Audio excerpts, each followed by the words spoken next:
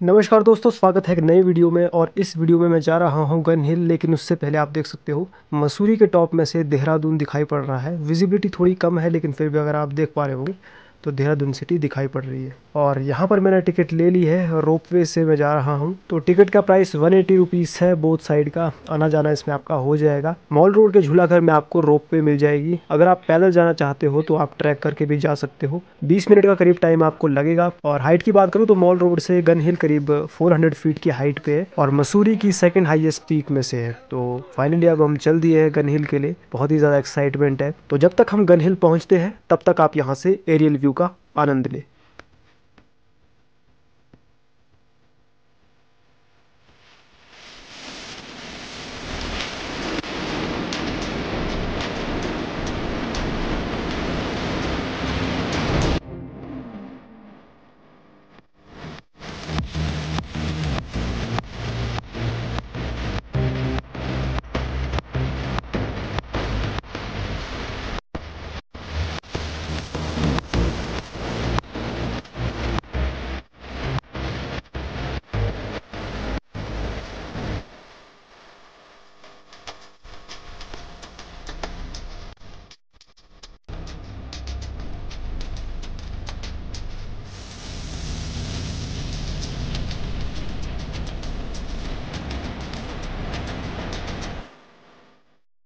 तो फाइनली हम पहुँच चुके हैं द गन हिल पॉइंट और रोप वे से जो व्यू आ रहा था मसूरी का, बहुत ही सुंदर था। मेरा फ़र्स्ट टाइम एक्सपीरियंस था रोप वे में, जो कि बहुत ही अच्छा था। तो मेरे को ज़्यादातर ट्रैकिंग करना पसंद है, लेकिन अभी टाइम कम होने की वजह से रोप वे यहाँ पर लेनी पड़ी। सामने आप देख सकते हो, ये है गन हिल पॉइंट तो after Lal Tibba Gun Hill Mussoorie की सेकेंड हाइएस्ट पीक में से एक है और एक वेंटेज पॉइंट है अच्छा खासा यहाँ से व्यू आपको देखने को मिल जाता है। तो आप देखोगे यहाँ पर शॉप्स जो है एक रेक्टेगुलर शेप सी बना रही है। कई सारे रेस्टोरेंट्स आपको यहाँ पर मिल जाएँगे। इसी के साथ बहुत सारी एंटरटेनमेंट जोन है और क्लोथिंग की शॉप्स है। यहाँ पर आप ट्रेडिशनल ड्रेस में फ़ोटो भी खिंचवा सकते हो। तो अभी मैं आपको दिखाऊँगा यहाँ का हिमालयन व्यू पॉइंट जो की टेलीस्कोप व्यू पॉइंट है, जहाँ से आप दूर की जो माउंटेन रेंजेस है उनको देख सकते हो। यहाँ पर आप सामने ओपन स्पेस देख रहे होंगे। इसके ठीक नीचे पानी का एक रिजर्वायर है, जिससे मसूरी को पानी की सप्लाई की जाती है।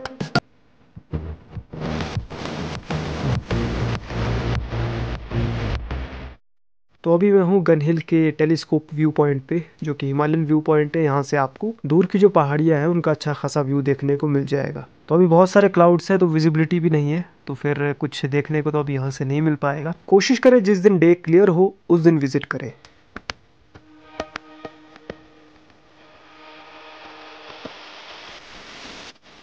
तो अभी मैं हिमालयन व्यू पॉइंट की छत पर चढ़ गया हूँ, और यहाँ से आप देख सकते हो नीचे से थोड़ा बढ़िया व्यू यहाँ से देखने को मिल रहा है। इस तरफ़ से आप देखोगे तो पहाड़ जो बिल्कुल डिसेंड होके जा रहे हैं नीचे, मैदानी इलाकों तक। सामने आप मसूरी देख सकते हो, काफ़ी सुंदर यहाँ से दिखाई पड़ रहा है। इसके बाद में अगर लेफ़्ट साइड में अगर आप देखोगे तो सामने बिल्कुल लाल टिब्बा है, जो यहाँ की हाइएस्ट पीक है।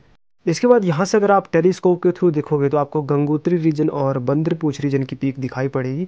इसी के साथ साथ नाग टिब्बा भी यहाँ से आपको दिख जाएगा। तो ओवरऑल बात करूँ, बहुत ही अच्छी जगह है, एक वेंटेज पॉइंट है अच्छा व्यू आपको यहाँ से देखने को मिलेगा। एक तरफ़ अगर आप देखेंगे तो आपको मैदानी इलाके दिखेंगे तो दूसरी तरफ़ आप देखेंगे तो आपको पहाड़ ही पहाड़ दिखेंगे। कभी भी आप मसूरी आते हो तो गन हिल को मिस नहीं करिएगा। तो दोस्तों, अगर आपको वर्चुअल रियलिटी गेमिंग का एक्सपीरियंस यहाँ पर लेना है तो वो भी आपको मिल जाएगा। फ़िलहाल यहाँ तो 9D लिखा हुआ था, बल्कि 9D तो कोई हो ही नहीं सकता। 150 का चार्ज लेते हैं और कोई एक वीडियो आपको अपने से सेलेक्ट करनी होती है, फिर उसको ये प्ले कर देते हैं आपको वी बॉक्स पहना के लेकिन दोस्तों क्वालिटी बिल्कुल भी अच्छी नहीं थी वीडियो की। कम से कम मेरे को लगता है थ्री के आसपास क्वालिटी होगी। तो मुझे तो इसमें इतना मज़ा नहीं आया। बाकी आप कभी गन ही लाओगे तो अपने से जो एक्टिविटी आप यहाँ पर ट्राई करना चाहते हो, वो कर सकते हो। इसके बाद में आप सामने देख सकते हो, ये श्री सिद्धपीठ माँ पार्वती मंदिर है, जो कि गन हिल में ही आपको देखने को मिल जाएगा।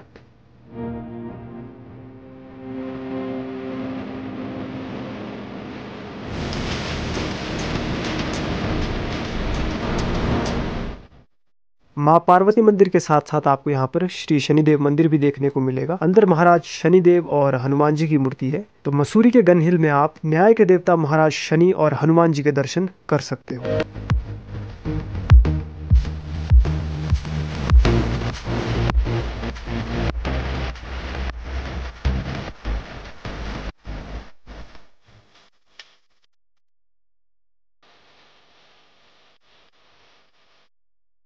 तो दोस्तों, अब समय आ गया है गनहिल से वापस नीचे मॉल रोड को जाने का। तो हमारे पास बोथ वे की टिकट थी तो अब वापस इसी से जाएँगे नीचे। तो दोस्तों, जाने से पहले मैं एक चीज़ क्लियर कर दूँ कि यहाँ का नाम गनहिल कैसे पड़ा। तो उसके पीछे की एक स्टोरी है, जिसमें बताया है कि इंडिपेंडेंस से पहले जब अंग्रेज़ों का राज हुआ करता था, उस समय 1857 में अंग्रेज़ों ने गन हिल के टॉप पर एक तोप का निर्माण किया था। उस तोप से हर दिन दोपहर में फायर किया जाता था, जिससे की जो वहाँ के स्थानीय लोग है, वो अपनी घड़ी को उस हिसाब से सेट कर सके और उनको टाइम का अंदाज़ा हो सके। लेकिन बाद में उस तोप को हटा दिया गया था तो उसके बाद से इस जगह को गन हिल के नाम से जाना जाता है।